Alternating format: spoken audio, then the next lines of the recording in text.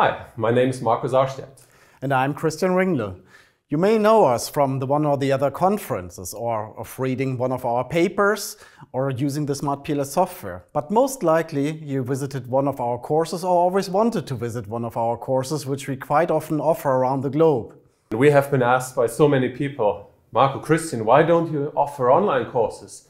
And well, we listen to your requests and da-da, here we are. Yes, and we package a nice program for you. Because uh, this course delivers everything that you need um, to successfully publish your PLS papers. We start with an introduction and discuss when to use reflectively or formatively measured constructs and how to set up a structural model that you later on estimate with the PLS method.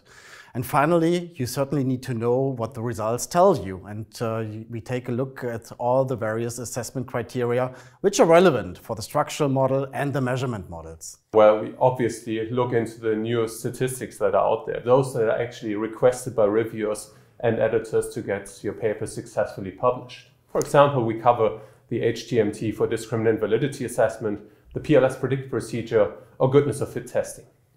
And on top for the structural model, we take a look into mediation and moderation. And we certainly have lots of the advanced stuff um, in the package, which is particularly hot at the moment. Most important higher order models or the importance performance map analysis.